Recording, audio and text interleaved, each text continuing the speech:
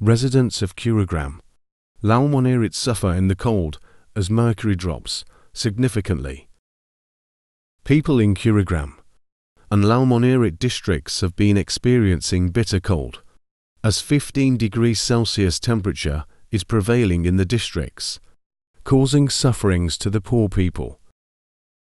In Lalmonirhat, a bitter winter breeze accompanied by dense fog has been prevailing in the district, disrupting the normal life of people, especially the poor people.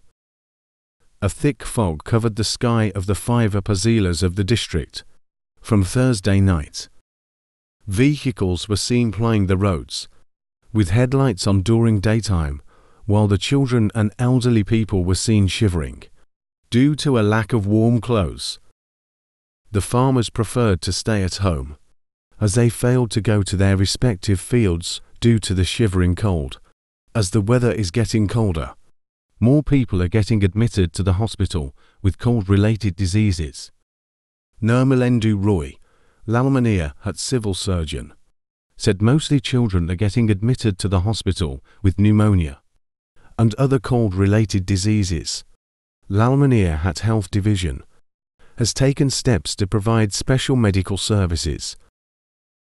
In Kurigram, people are experiencing the bone-chilling cold as, as the Weather Office has recorded 15.0 degrees Celsius temperature in the district.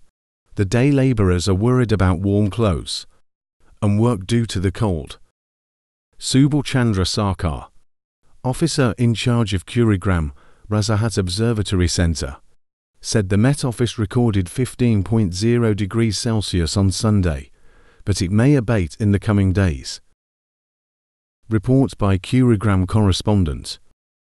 William Jacob Voice 7 News